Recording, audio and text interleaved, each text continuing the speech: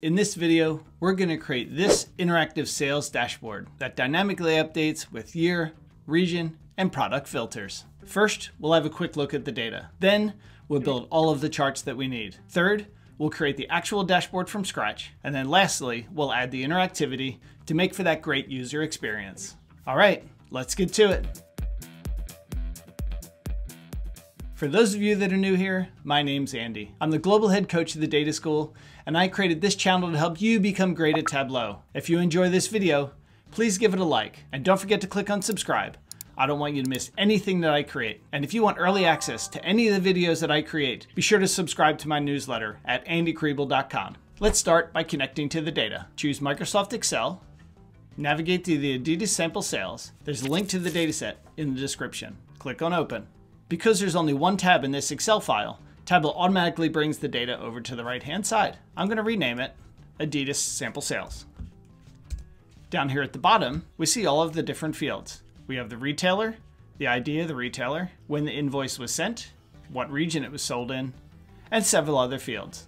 Now, we don't need some of these, so let's do some cleanup at the very beginning just to make it easier to work with our data.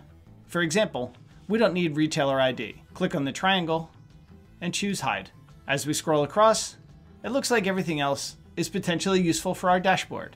So let's leave it there. Go to the first sheet. Let's start by looking at our monthly sales. Right click and drag invoice date to the columns and pick month continuous. Click on OK. Drag total sales to the rows. Let's clean up the view a bit. Right click on the axis at the bottom and choose edit axis.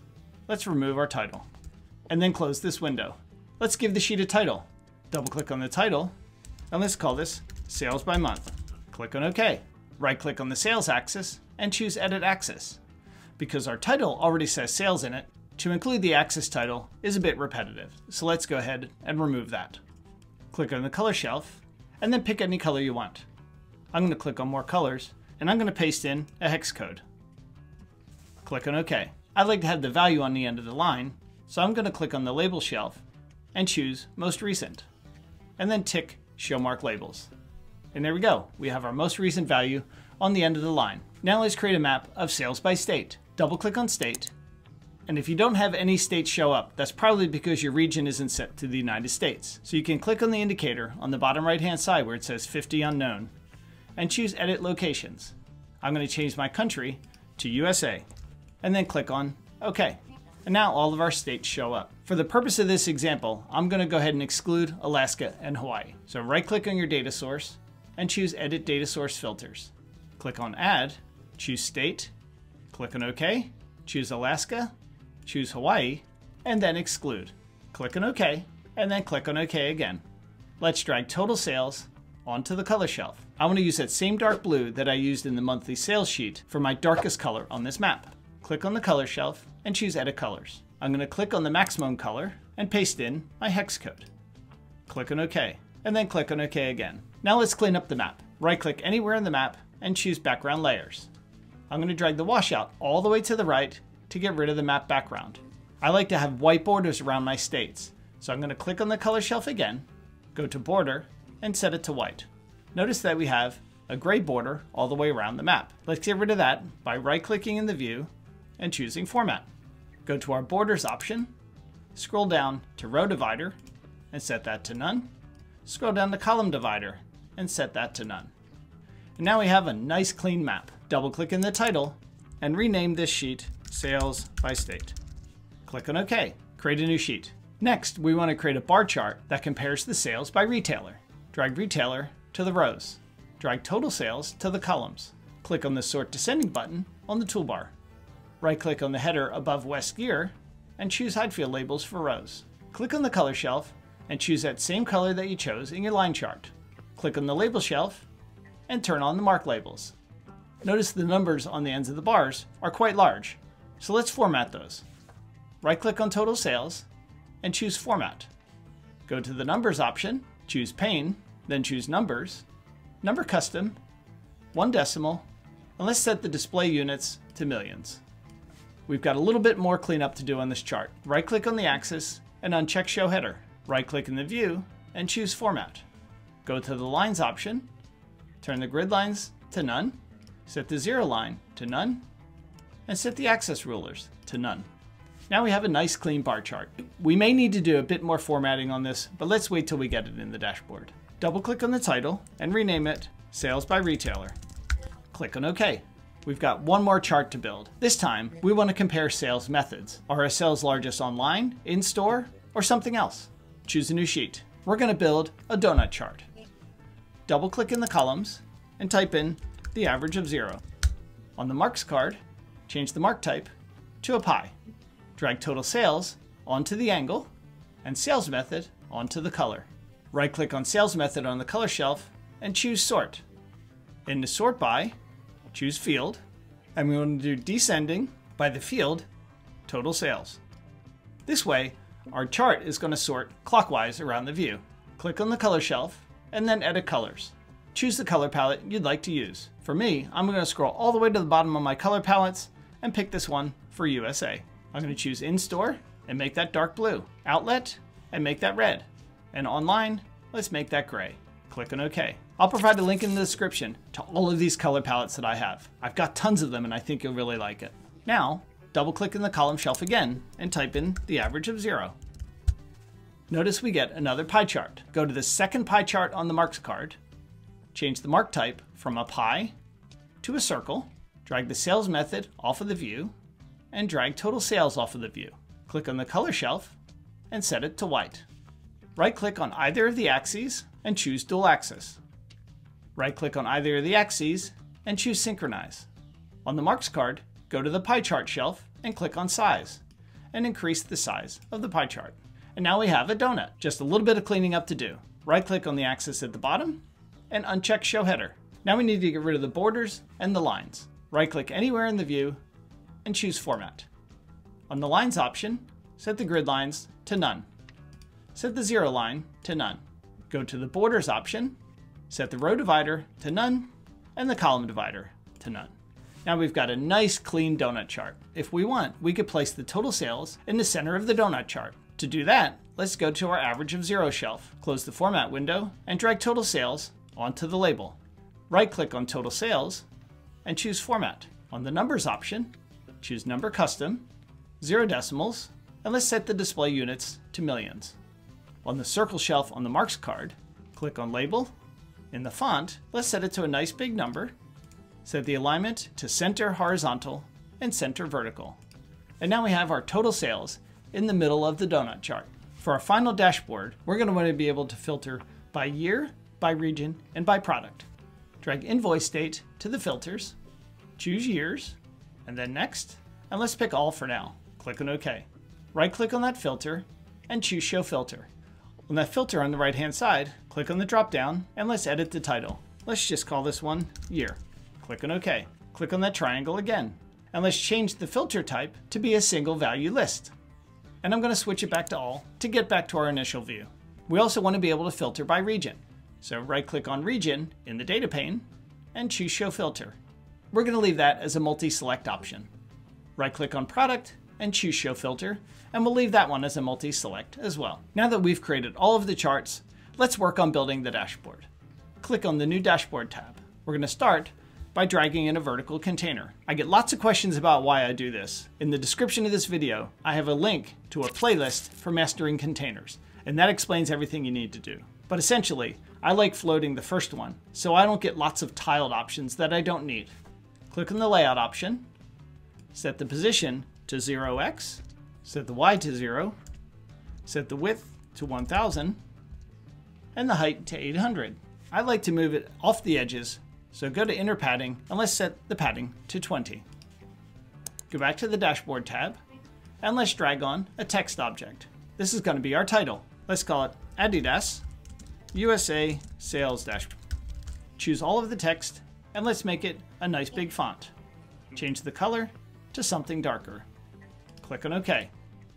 Drag in a blank object underneath of the title, and we're going to use this as a divider. Choose more options and edit height. Set the height to 10. Go to the Layout tab and set the background to black. And notice we now have a nice divider line. Now let's look at how we want to structure this dashboard. We're going to have our filters down the left hand side. We're going to have our line chart right here, our sales by retailer down here, and then our map, and our donut chart. Now notice, as I build this, it doesn't feel like the dashboard's going to be wide enough. So I'm going to go back to my dashboard tab, choose the size option.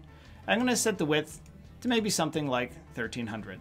Now we can start bringing in the sheets. Drag in a horizontal container underneath of the line. Drag the sales by retailer sheet into that horizontal container. Up at the top where it says standard, change the view to fit entire view. Because we want to have our line chart and then two charts below it, we need to drag in a vertical container into that horizontal container to the left of the bar chart. This gets a bit tricky, so just pay attention to where the shaded area is. That shows you where it's going to drop. Drag your line chart into that container. Now we want to have the map and the donut next to each other. So we need to put a horizontal container inside of this vertical container. Notice when I drag it in, I get the shaded area at the bottom, and I get a blue section around the outside indicating the container I'm going to drop it in. Drag your map into that container, and drag the donut to the right of the map, and again, notice the shaded area where it's going to drop into that container. We forgot to rename the donut chart, so double click on the title for the donut chart, and this is going to be Sales by Sales Method. Click on OK. Change the view from Standard to Entire View. Now we need to do a bit of resizing. Click on the bar chart, choose More Options, and Edit Width. Set the width to 400. On the line chart, choose More Options, and Edit Height. Let's set the height to 300. Now we need to get our filters down the right hand side. Notice they're hidden behind the Sales by Retailer chart. Go to our Layout tab, and down in our item hierarchy, scroll to the bottom. Open up that tile object, open up the horizontal container, and then choose that vertical container at the bottom. Notice it gets highlighted on the right hand side. Click on the more options and choose floating. Now we can move this around wherever we want. So I'm just going to drag it over here to get it out of the way. Back over in the layout tab in the item hierarchy, notice we have all of these extra tiled objects down here that we don't need. So choose the first tiled option and choose remove from dashboard.